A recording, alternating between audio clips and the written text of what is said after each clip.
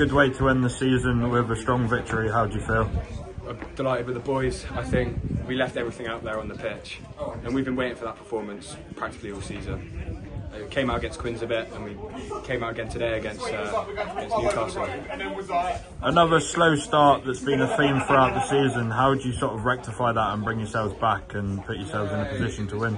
I think we just it helps fire us up. I think it's not obviously we want to get going from kick-off, but I think when we go down a bit, it fires us up, puts fire in our bellies, and you know makes us come back out firing and going back at them and bringing it back.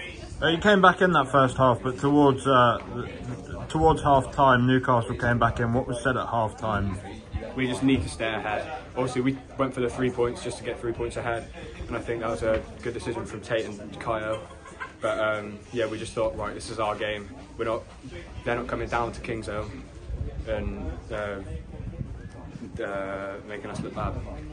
And then, of course, a strong second half with some strong scores, Yeah. uh, scoring a number. How do you feel you've ended the season as a team, and what learnings can you take from today? I think we ended it very positively.